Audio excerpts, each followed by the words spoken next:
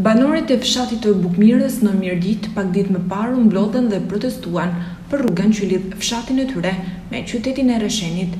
Rruga prej disa javësh ka pësuar dëmtime në disa pjesë të saj si pasojë e reshjeve intensive, turbinat dhe kanalet janë bllokuar nga inertet, gjë e cila ka bërë që rruga të ketë shembje në disa pjesë të saj, edhe pse kjo rrugë ka shumë pak vite që ka përfunduar së ndërtuari.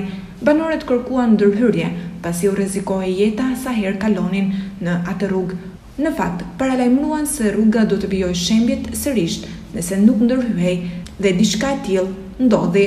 Gjatë natës shtrati i rrugës ka rënë dhe ka patur rreshkitje dherash sërish, duke vështirësuar lëvizjen e banorëve drejt qytetit apo vajtjen e fëmijëve në shkollë. Rruga Rreshen-Bukmir rrezikon izolimin total të tetë fshatrave të Mirditës.